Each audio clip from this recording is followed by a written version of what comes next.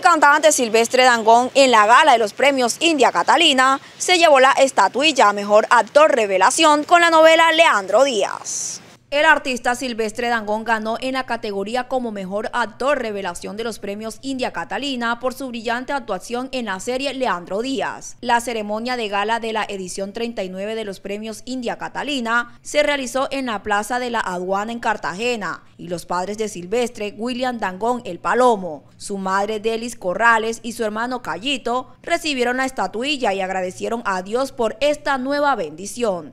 La serie Leandro Díaz, que alcanzó 11 nominaciones, fue escogida como la favorita del público y todo su elenco recibió esta distinción. Y como Abel Villa, el niño Leandro, ganó como mejor talento infantil.